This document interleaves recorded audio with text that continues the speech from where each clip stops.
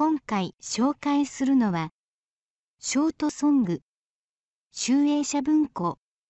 という本です。タイトルの直訳である短歌を通して二人の対照的な男が出会い、心の葛藤や失恋を乗り越え、互いに影響し合っていく。青春小説内気で優しい美少年カツオくんと佐渡でプレイボーイなメガネ青年伊賀さんという少女漫画に出てきそうなかっこいい2人の男性が主人公この2人の心情を交互に描きながら物語は進んでいく。この本の魅力は強い個性を持つ登場人物たちと実際の歌人たちから引用された文中の短歌ストーリーと人物たちの心情そして短歌が非常によくマッチしていて実際に登場人物が本の中から出てきて短歌を読んでるんじゃない？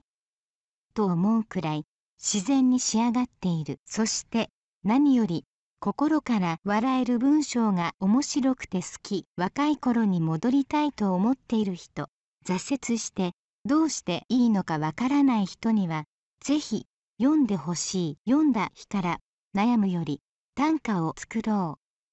ときっと思うはず以上。興味のある方は実際の商品を Amazon などでご確認ください。今回は最後までお付き合いありがとうございました。よかったらチャンネル登録をお願いいたします。